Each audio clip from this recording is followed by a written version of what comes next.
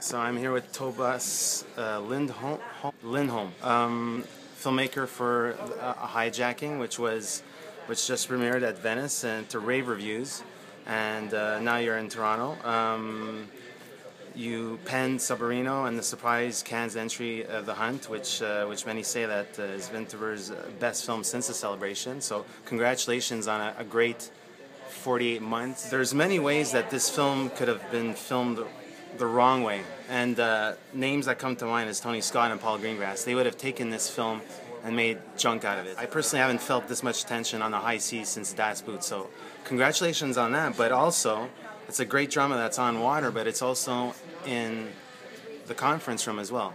So, first, I'd like to know the why did you choose this as a subject? Somali pirates in the headlines is a is a common thing, but uh, what's the genesis of the film and and what was the most difficult to authenticate in terms of maybe the high seas or or the, the, the conference room back and forth? What, what, what was the...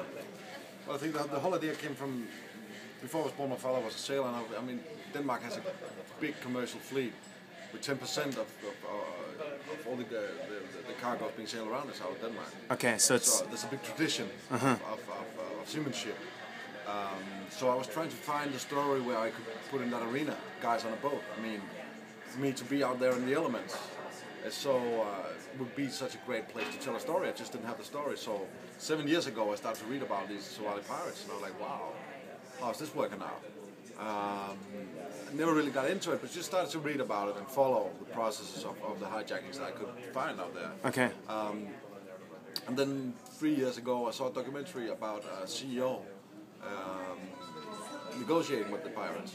Okay. And I feel like, well, if that documentary also had been on the ship, it would have been totally perfect. Uh-huh.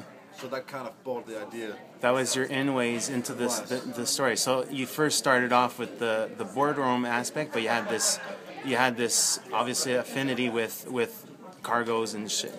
Exactly. That, I mean, that scene. Seven guys on a boat in 50 degrees, something will happen at some point. Some point, we'll get yes. Um, so so that was the way into it.